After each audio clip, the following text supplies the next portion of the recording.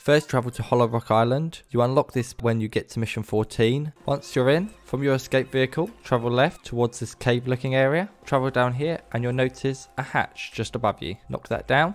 Now you're going to need planks for this, but make a little step that you'll be able to jump up onto. You then need to make another step and jump up onto it make your way up the shaft. When you're here, you'll need to burn the bars off of this vent and you'll be inside the vault. Grab the valuable worth 2,500 and this one here worth 400.